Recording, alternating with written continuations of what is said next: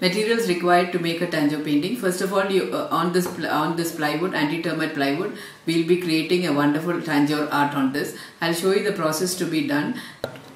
Yeah, this is tamarind seed powder, yellow oxide, copper sulfate blue, Arabic gum crystals, sieved Arabic gum, tamarind seed paste, cooked tamarind seed paste, chalk powder and this is a material using for coating of the board. It's required to prepare a board, anti-termite waterproof plywood, lining material, tamarind seed powder and copper sulfate blue.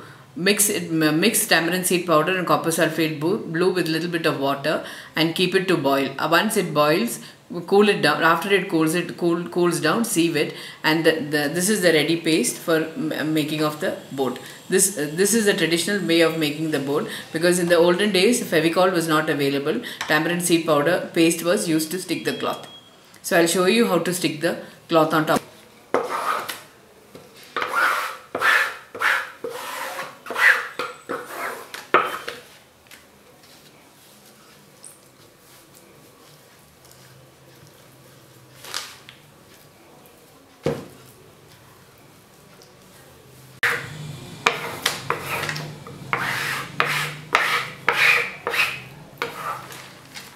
on top of the um, uh, plywood.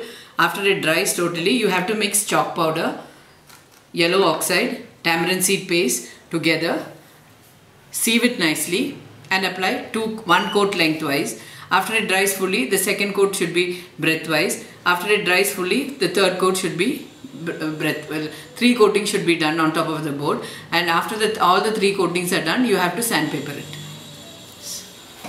Yeah, this paste is a mixture of chalk powder, tamarind seed paste and yellow oxide. Uh, mixed together and then sieved. It has to be lightly applied on top of the.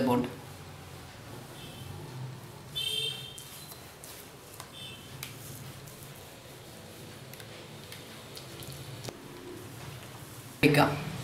Chalk powder and Arabic gum are mixed together, sieved, uh, mixed together and sieved nicely. And after sieving, the paste, this is the paste what we use for embossing. Okay. This embossing material is used for uh, uh, doing all the ornamentation and the decoration. On top of this, the gold foil is used. Which will show you how to do the embossing.